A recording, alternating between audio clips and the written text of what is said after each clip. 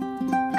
Assalamualaikum. Saya nak berkongsi dengan anda antara kunci kejayaan hidup. Yang pertama adalah sentiasa bersyukur. Sebab dengan bersyukur, kita akan melatih diri kita untuk lebih positif. Kita kena bersyukur dengan apa yang kita ada, bukan komplain dengan apa yang kita tak ada. Yang kedua adalah acceptance, menerima, menerima kekurangan kita dan pelajari macam mana untuk kita tingkatkan dan perbaiki hidup kita. Dan yang ketiga, selalulah berdoa dan tawakal. Menyembah pada Yang Esa sebab kita hanyalah hambanya. InsyaAllah kita dapat keberkatan hidup dan kehidupan kita akan lebih berjaya.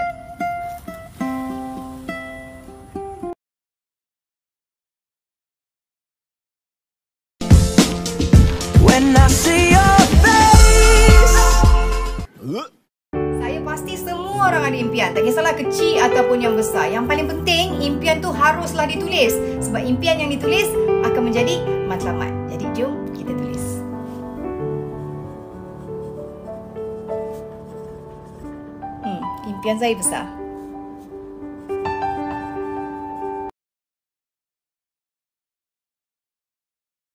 By all means, okay. Oh, pantang. Ah, si wait, pak. Eh, pat. Hmm. Oi. Eh, bapa betul lah dayur.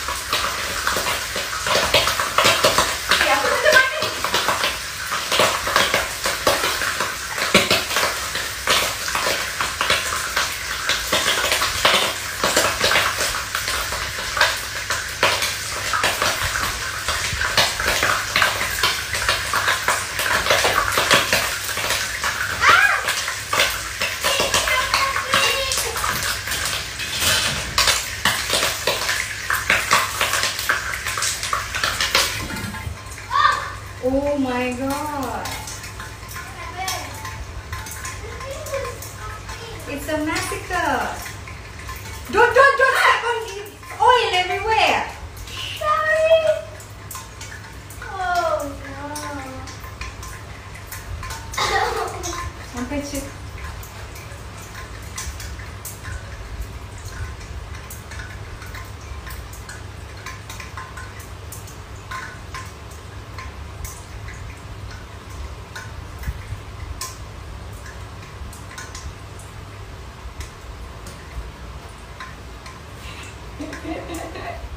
Anda nak buat apa ni? Okay, aku nak lap lantai dulu ke sebab nanti aku, kalau kau tak lap lantai, nanti aku pijak berminyak kan. So, tapi kalau aku nak lap lantai,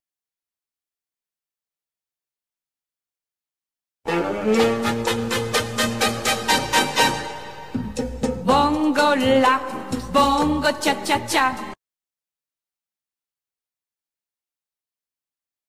80s Rock Challenge.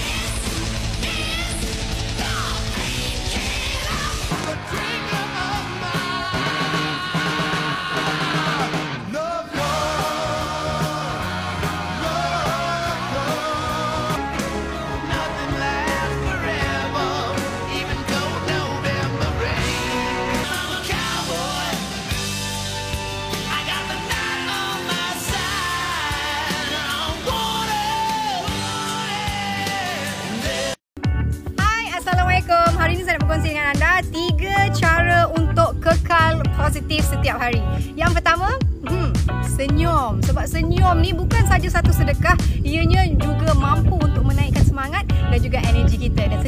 boleh berjangkit tau. Orang tengok kita senyum, nanti dia pun akan senyum. Yang kedua, kita kena pasti apakah perkara negatif yang kita selalu buat.